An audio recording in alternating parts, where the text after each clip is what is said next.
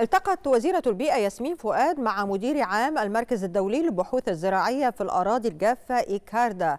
يأتي ذلك لبحث إمكانية التعاون المشترك بين الجانبين في مجال تغير المناخ بحضور القيادات المعنية وذلك بالمركز الثقافي التعليمي بيت القاهرة بالفسطاط. وأكدت وزيرة البيئة خلال اللقاء على تطلع وزارة البيئة إلى دعم التعاون مع إيكاردا والتنسيق مع وزارة الزراعة لتقديم مقترحات دعم مصر في مجال تغير المناخ مشيرة إلى أنه تم العمل على هيكلة مؤسسات الدولة طبقا لخطة العمل الخاصة بمؤتمر تغير المناخ والذي سوف تستضيفه مصر هذا العام.